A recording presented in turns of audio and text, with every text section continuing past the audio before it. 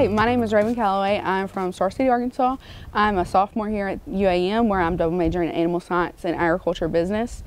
I chose UAM because it's close to home. It's somewhere where I can be hands-on. It's somewhere where I can show cattle. I show cattle with Greg Montgomery here. He's the farm manager. Basically, the show team is Raven. Right now, she is the only individual on the team or at the university that actually she halter breaks the college's cattle, and uh, we carry them to. Last year, we carried them to the district and county, district, and state fairs, and just try to help recruit students uh, through our, our cattle program. Um, that's something that really interests me with UAM.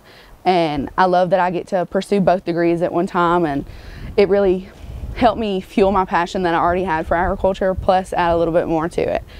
Um, I was recently picked as an intern for the Cooperative Extension Service I will be serving this summer with the 4-H and with the communities surrounding Monticello. She can talk to pretty much anybody uh, and has the, has some grit uh, to go along with it. So very, very hard worker. Um, just very determined in what she wants to do. When she says she's going to do something, man, she does it.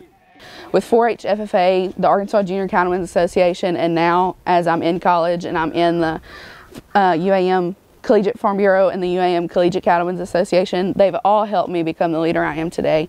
Rayvin's one of those people that I don't worry about ever being successful. She's gonna she's gonna do well wherever she's at.